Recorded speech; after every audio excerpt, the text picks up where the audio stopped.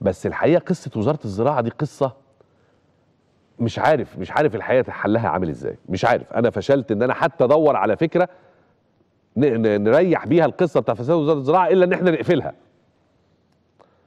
يعني الحل إن إحنا نقفلها. فاكرين حضراتكم وقت التعديل الوزاري الأخير ومشي وزير الزراعة وجي وزير الزراعة جديد وبتاع. أنا قلت لكم وأنا بقرأ لكم الأسماء وبقرأ لكم التعديلات وبتاع قلت لكم إن وزارة الزراعة دي هي الوزارة الإيه؟ فاكرين اللفظ اللي أنا قلته؟ قلت هي الوزارة الملبوسة. ملبوسة المفروض إنها ملبوسة عفاريت. لا هي مش ملبوسة عفاريت. مع عفاريت اللي بني آدم. هي ملبوسة فساد. محكوم عليها بالفساد. ملهاش علاقة بالوزير. أنا هنا مش بقول إن الوزير فاسد ولا الوزير اللي فات فاسد ولا كذا. ولا يفرق معايا الو- الوزير. الوزير ده آخر همي. لأنه بطانة الفساد تحت وشلة الفساد تحت والقوانين التي تشجع على الفساد في وزارة الزراعة والطريقة اللي بتدار بيها وزارة الزراعة والطريقة اللي بتدار بيها الأراضي التابعة لوزارة الزراعة تشجع مين على إنه يفسد؟ تشجع أشرف الشرفاء على إنه يفسد.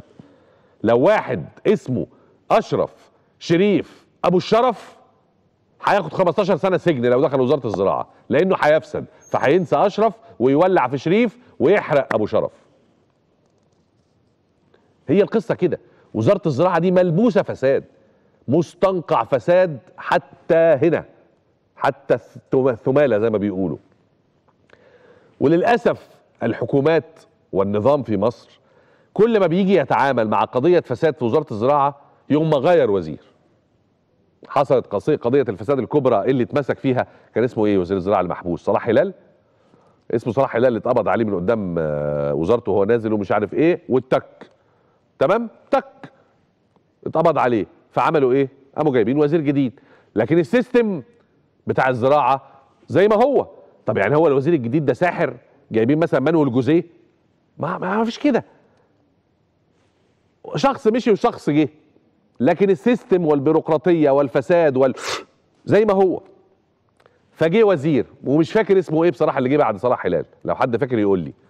وزير الزراعة. حاجة أبو حديد ولا ده كان قبل كده زمان؟ أبو حديد ده قبل كده أيمن أبو حديد باين. كان قبل صلاح هلال مش فاكر مين اللي جه في النص بعد صلاح هلال وقبل ما يجي الدكتور عبد المنعم بنا دلوقتي. فبرضه اتقال لك مش عارف إيه والزراعة فيها إيه وشمال إيه ويمين إيه. طب مشي وزير الزراعة وهاتوا الدكتور عبد المنعم البنا اللي هو الوزير الزراعة الحالي. وبعدين هي هي يا مولاي كما خلقتني. حلها إيه؟ ده لازم يتعمل لها مؤتمر قومي. تصدقوا ده محتاج مؤتمر قومي للبحث في كيفية مكافحة الفساد اللي موجود في وزارة الزراعة؟ مش عايز أقول كله عشان ما بقاش بتهم. كتير كتير في وزارة الزراعة بيقبض وكتير من وزارة الزراعة بياكل في كل أكلة وكتير في وزارة الزراعة له ختم على كل حتة أرض بتروح وبتيجي. ده يا جماعة في ناس في وزارة الزراعة بتطلع ورقة وعكسها. اللي أنت عاوزه شوف أنت كمستثمر ما دام بتدفع سيبك من المستثمر دي ما دام انت فاسد ما هو اللي بيدفع ده فاسد مرتشي يعني أو راشي. ما دام بتدفع وهتأبجني اللي انت عاوزه موجود في وزارة الزراعة. عايز ورقة بتقول إن الأرض دي فيها آثار هديك. عايز ورقة بتقول إن الأرض دي ما فيهاش آثار هديك. عايز أرض ورقة بتقول إن الأرض دي فيها بير هديك. عايز ورقة بتقول إن الأرض دي فيها ما فيهاش بير وجفاف حد... اللي انت تؤمره هديك. المهم إن انت لا مؤاخذة تاخد. والقصة دي بقى لها 10 15 20 30 سنة. ولا تدخل. وزارة الزراعة محتاجة تدخل جراحي مش بس عشان موضوع الأراضي عشان موضوع الأراضي وموضوع المحاصيل موضوع المهندسين الزراعيين وموضوع السياسات الزراعية اللي في مصر وموضوع وموضوع وموضوع وموضوع. عايزين تعرفوا لماذا انهارت الزراعة في مصر؟ لماذا اند- اندثرت الحضارة الزراعية في مصر اللي هي كانت أساس بناء حضارة مصر؟